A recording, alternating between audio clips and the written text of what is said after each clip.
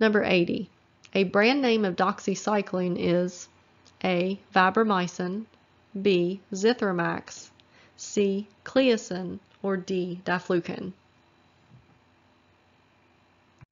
And the answer is A. Vibramycin is a brand name of doxycycline.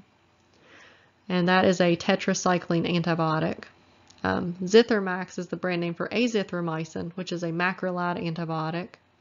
Cleocin is the brand name for clindamycin, which is a lincosamide antibiotic. And diflucan is a brand name for fluconazole, which is a azole antifungal. For more practice test questions, click below to see my complete Top 200 Drugs quiz and please subscribe to be notified when I have new videos. Thanks, I really appreciate it.